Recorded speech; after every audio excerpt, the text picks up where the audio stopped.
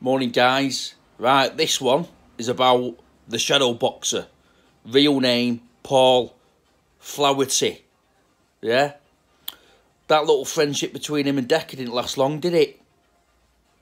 Unbelievable, man. Madness.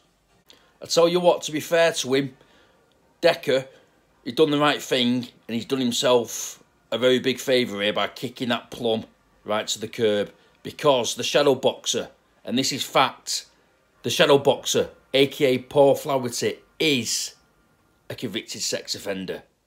Yeah? And why would you want someone like that wrapped around you? In 2018, a jury had enough evidence to convict the shadow boxer for sexual assault on a girl that he met on Tinder. He took a girl out on a date, he met her on Tinder, they were chatting, they met up for drinks, they ended up back at his place, I believe, uh, and that's when the sexual assault by the shadow boxer happened. And there was enough evidence for a jury to convict him. Yeah? So he is 100% legit a convicted sex offender. Make no mistake about that. Make no qualms about it. He is proven convicted. The shadow boxer, a wrong'un. Shadow boxer's been talking a lot lately about being in the middle of a legal battle to get the conviction overturned. And he said things like, it's definitely going to happen. He's going to win compensation, big compensation, and his conviction is going to be overturned. He's going to be proven innocent, and everyone's going to be very sorry, and he's going to prevail. Yeah? This is utter bullshit. He is in the middle of a legal battle with the system. Yeah? It's over some injuries he got while he was in prison, so he's after compensation. Nothing to do with overturning his conviction. His conviction won't be overturned. He was convicted. He was a sex offender. He'll always be a sex offender. These legal battles that he's telling people that he's in the uh, the midst of, that he's close to winning, nothing to do with overturning his uh, sexual assault conviction.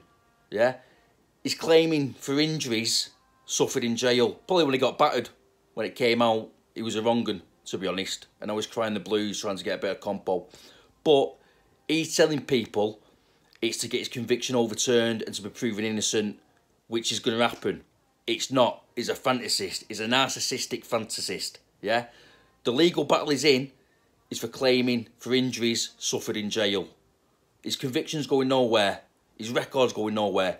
He is 100% a bona fide sexual offender. He's a wrong one.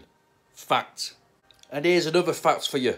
Yeah? Paul Flaherty, shadow boxer, is 100% absolutely a deluded narcissist. Yeah? This is what a deluded narcissist looks like and sounds like. All these boasts about becoming the next Conor McGregor, blowing up big in the MMA scene. Yeah? He's a clout chaser.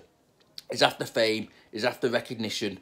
Uh, this is what narcissists do uh, and they deny, deny, deny, they lie, they believe their own fantasies, their own fantasies, they get lost in their own world that they've made themselves in their own twisted mind, yeah, and this is exactly what the shadow boxer does. So uh, say what you want about Decca, but it appears that once he found out all of this, when he heard about the conviction and all that business, he did the right thing. He called him out and he kicked him straight out of his little circle. Yeah. And Decca's not got many friends, so he's not going to kick friends to the curb easily, is he? Without good reason. But that's what he's done with the shadow boxer. This absolute weirdo and wrong'un. So, yeah. The shadow boxer. Probably tick him off your babysitting list.